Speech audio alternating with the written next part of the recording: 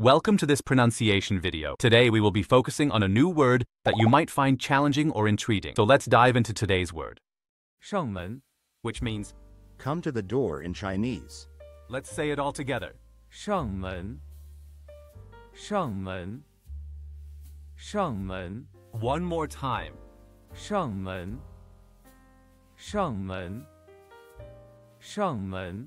Thank you for joining us on this adventure in pronunciation. Remember, language is a journey, not a destination. Keep exploring, experimenting, and expanding your linguistic horizons. We'll see you next time.